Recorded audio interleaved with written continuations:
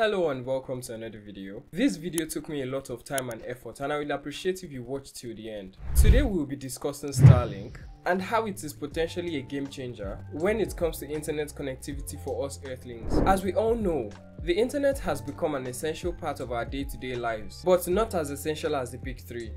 Food, water and shelter. But it is quite essential as it is used for many day-to-day -day activities like calling, texting, video calling, um, watching TikToks and even this video right here that you're watching, I'm pretty sure you're watching it over the internet.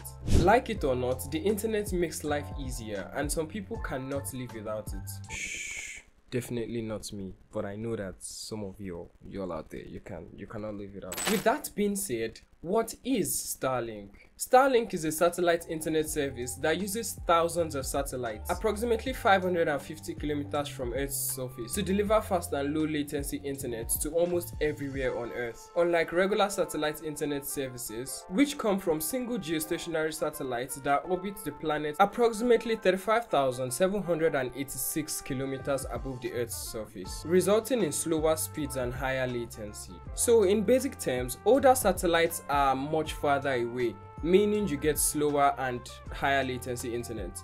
But Starlink being closer means that you're going to get higher speeds and lower latency internet. If you live in a big city, you probably have access to fast internet services, maybe at 500 megabits per second or more, thanks to advancements in technologies like 5G and fiber. But imagine having to deal with a few local ISPs who offer speeds that go as low as 2 Mbps, while some even claiming to offer high bandwidth and fast internet in form of fiber. And you think, oh, you're saved. But no, no, no. They charge high amounts to get high speeds, they have hidden data caps even when they claim it's unlimited, and they also experience frequent downtimes which could result in you losing your job or missing an interview if you work remotely. I mean, how are you going to explain to your employers that your internet suddenly went out for 3 days straight? PSA, this still happens to today in Nigeria. Shout out to the internet service providers we have. Installing newer technology infrastructures and providing super fast internet services can be sustainable and even lucrative in big cities, but not so much in rural areas where there are only a couple of people in communities, or the people cannot afford high amounts to pay for these internet services, which discourages these network providers from bringing these expensive infrastructures to these areas. I mean, how much can you really charge a village to provide them with fiber internet? On top of all of that, unfortunately, in a lot of countries, including mine, you could be living in the biggest city and your network will still be terrible because of the population and the lack of resources to cater to everyone. All of these limitations are why Elon Musk decided to create Starlink, with the main mission to bring fast and low latency internet to places that people do not normally get access to them. Examples are like mountains, forests, cruise ships, remote islands, villages, airplanes and so on. This can even be a solution to bringing internet to people who have survived war attacks. But before all of this is possible, there are a couple of things that need to be in place first, which we will talk about before the end of this video. This part of the video is for you guys who keep comparing Starlink to your traditional 5G internet or your fiber. Starlink does not use the same technology as fiber or 5G. And I feel an apples to apples comparison between them is a complete waste of time as one is not meant to replace the other, at least not yet.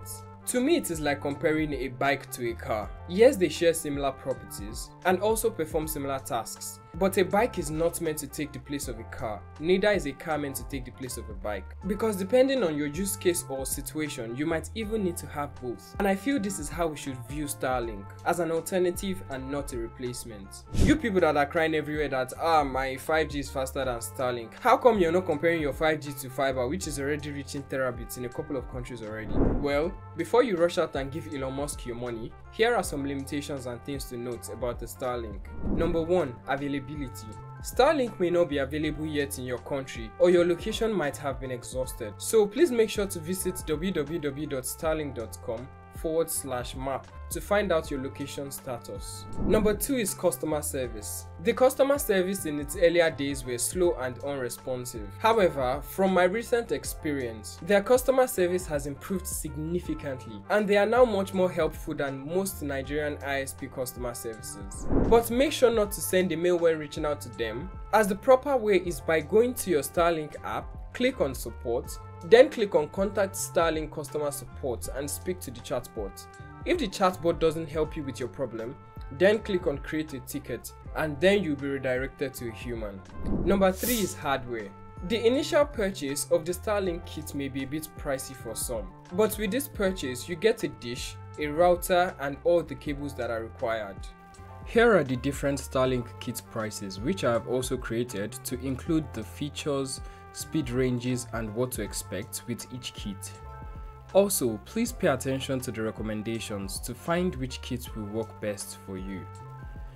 The Starlink Mini and V3 are only available currently in the United States, while other countries will receive the V2 standard or the high performance. Installation is DIY and it is really easy to set up, or you can pay someone to help you set it up. Although if you damage your kit, you will need to purchase a replacement part, some of which are not sold on the Starlink's shop an example of which is the dish. As Starlink only provides replacement parts for devices that came broken, which still will take some time. And if this is your primary source of internet, bye bye.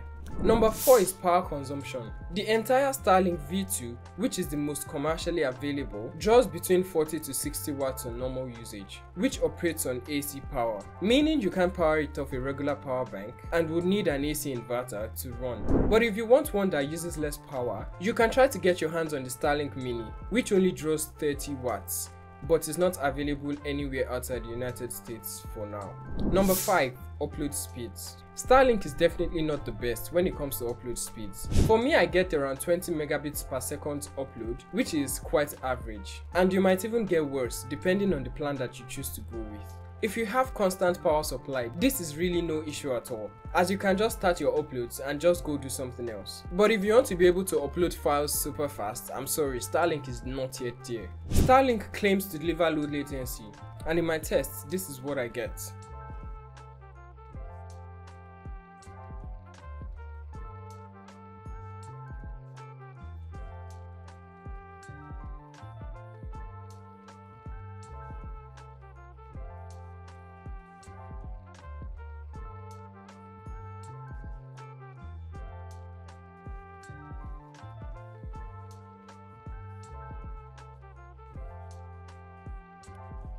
I know my gamers in the audience will be wondering how it performs in games. Well, here it is.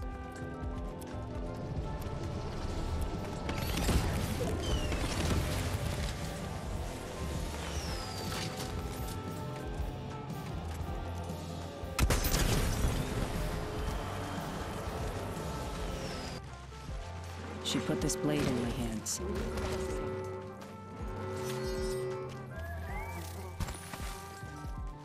She put this blade in my hands, and my whole life changed. You may experience some lag if your connection switches from one satellite to the other, but in my testing, it is really non-noticeable, except when it is cloudy. Number 7 is weather. In my experience, the speed drops by up to 60% when heavy clouds form before a rain, sometimes even taking up to 30 minutes to reconnect and to recalibrate. But overall, not outrightly terrible, with you still being able to stream 4K videos without buffering. The Starlink dish itself is also designed to handle a wide variety of temperatures and weather conditions. They claim it can withstand extreme cold, heat, sleet, heavy rain, and gale force winds. And it can even melt snow with its inbuilt heater, so every time it snows you don't have to take a shovel to your Starlink dish. Number 8 is space to mount your hardware. Users who live in an area with a lot of tall trees buildings and obstructions may not have the optimal mounting position, which may lead to lower speeds as the dish requires a clear view of the sky, preferably a high point. If you have the V2 kit, you would need to nail the base to a surface, or buy extra mounting hardware, or even construct one of your own. But the Gen 3 and Starlink Mini both come with inbuilt kickstands. Number 9. Regulations Due to regulations, you cannot just pick up a Starlink and go to an unsupported country and use your Starlink. After 2 months, you would get a notification to return back to a supported country or risk your account being limited, which is quite a bummer. Here was I thinking we could just pick up a Starlink and travel to anywhere in the world and use it, but apparently not. Now on for this regulatory bodies.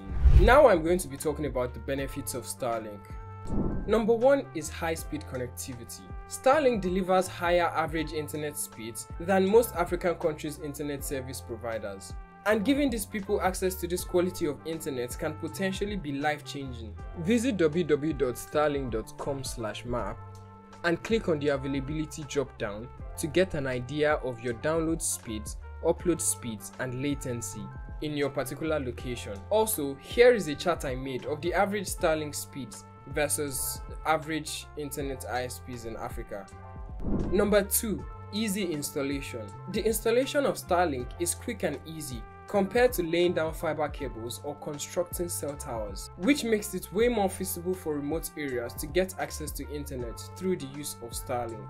On receiving your Starlink kit, here's how to set it up. After unboxing, you are greeted with a Starlink dish, a base, a Starlink cable, a power cable, and a Starlink router depending on which generation you buy. Assemble your dish and mount it in a place with a clear view of the sky. And then connect your Starlink cable and your power plug to your router. Make sure the power LED on your router is on. Then head over to the Starlink app after you've downloaded it from Google Play Store or your App Store. Click on Start Setup Select your Starlink version. Click check for obstruction if you aren't sure about the position you mounted your dish. If you are, then click I have a clear view and click my Starlink is plugged in. Then go ahead to connect to your Starlink network in your Wi-Fi settings and configure your Starlink Wi-Fi name and password. Just like that, your Starlink has been set up successfully. Never have I imagined for the installation of a Starlink network to be this quick and easy. Number 3. Reliability. Have you ever wanted to make a phone call or use the internet only to discover that there is no cell service? Mind you, this just doesn't go on for minutes. Sometimes it's hours, sometimes it just goes on for days. Many of us Africans are not new to this experience. Recently in March of 2024, we experienced some network blackouts which happened for days due to some damage that was done to the subsea cables. However, Starlink uses a completely different technology from fiber optics or traditional network cables, which allows it to overcome many of the limitations associated with these other technologies, which in turn reduces downtime. And when I say downtime, for Starlink it's network degradation, meaning you still get internet access but at much lower speeds. Number 4. Wide coverage. Starlink can deliver internet access to almost anywhere across the world with its thousands of satellites that are in low Earth orbit. So no matter how remote your location is, Starlink will most likely get to you. For number 5 we have the service plans. If you want to check this for your country, please visit this website. Here is a list of the service plans that are available to us in Nigeria. The standard plan gives you unlimited internet, which is best for most people. However, this plan is locked to just one location. Priority plan gives you a faster and better network experience with the data allocation that you choose.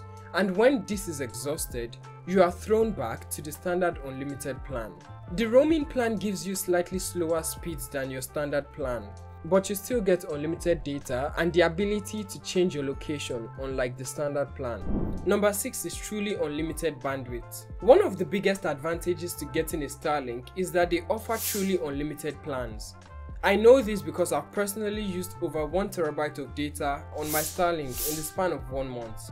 So you get to download and stream all you want without fear of spending more on bigger data allocations.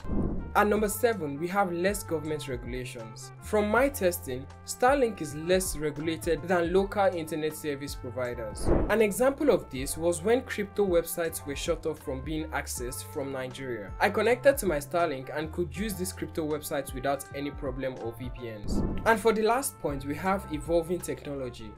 SpaceX is new to the satellite internet game, and Starlink is still in its early stages, meaning a lot more research and development are still to come, which might bring about a significant increase in network quality and speed.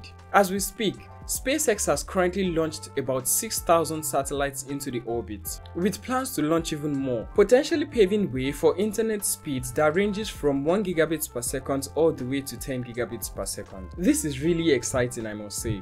Now, with all that being said, and my personal experience with Starlink, I think it is super exciting technology that provides a really good internet experience for its users. And for me, I think them being able to compete already in the internet space is already a big W for them, to be honest. Because this is just their first generation, and imagine the type of speeds that they will be able to produce, let's say, 10 years down the line. Now, if you want to buy Starlink, please head over to www.starlink.com. When you get to the website, you put in your location, your address to be precise Yes, and it gets you to this page. However, on this page, if you see that it's telling you that Starlink is at capacity, it means your area has been exhausted. You can still go ahead to place an order and they'll deliver a kit, but it might take a while. But if you do put your address and it brings you to this page right here, which just says no contracts, 30 days trial, shipping in one or two weeks, then you're good to go. You can select an optional accessory put in your details and boom place an order for your Starlink SpaceX promises to give you a full refund if you buy a Starlink kit and within 30 days you are not satisfied with the performance. You could choose to return it and get your money back. Thank you for watching this video to the end. It's been quite a journey getting into this point um, please make sure to like the video and leave a comment once again and if you're not subscribed please make sure to subscribe see you in the next one and it's still in its very hey.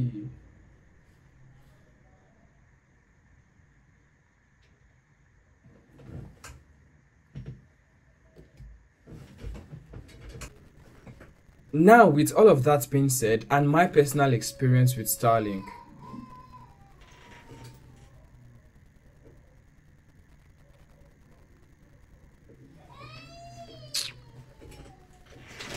my oga my oga abeg o make your pikin no dey cry. I dey i dey call o and dem dey hear everything. Your pikin wait the cry dey enter my dis thing. E enter the video i dey make abeg